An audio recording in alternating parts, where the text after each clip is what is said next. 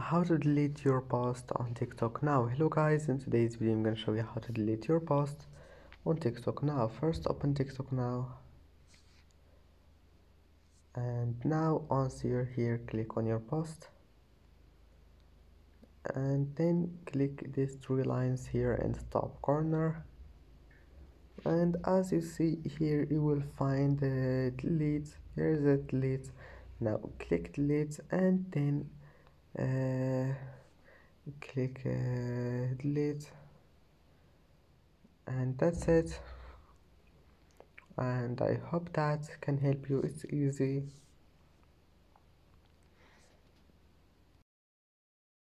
And that's it for today's video. If you like this video please don't forget to like and don't forget to subscribe. And uh, thank you for watching this video until the end and see you in the next video